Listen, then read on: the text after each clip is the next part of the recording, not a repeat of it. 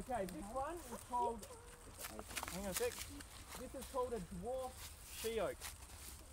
So normally these are trees that grow to 20 metres tall, but this one's a little one that only grows to this sort of size. This is about as big as it gets. You can see here we've got the seed. What I'll do, well this is actually not the seed, it's the fruit. I'll cut across it and see if I can find a seed to show you.